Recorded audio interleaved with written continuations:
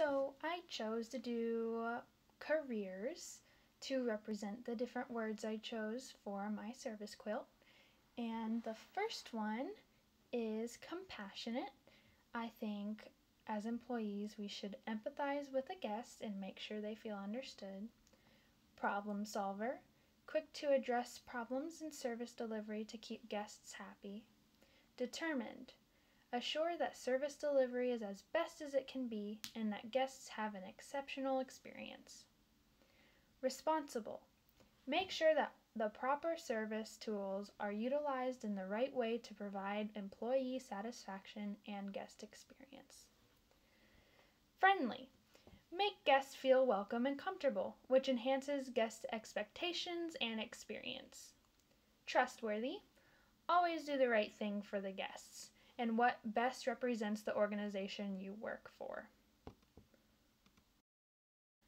Loyal, having the company's best interest in mind while also pleasing the guest.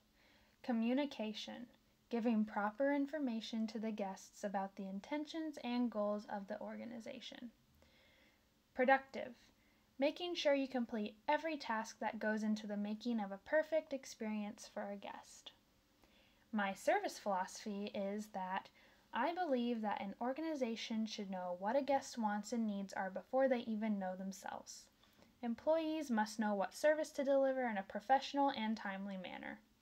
Focusing on guest service and experience will make for happy guests, which will increase reputation and revenue. And this is my not so service philosophy, so opposite, the complete opposite of what I believe in. An organization should ignore the customer's needs. Also, they should not provide any follow through when a customer does have a request, concern, or complaint. An organization should focus on their bottom line regardless of customer experience.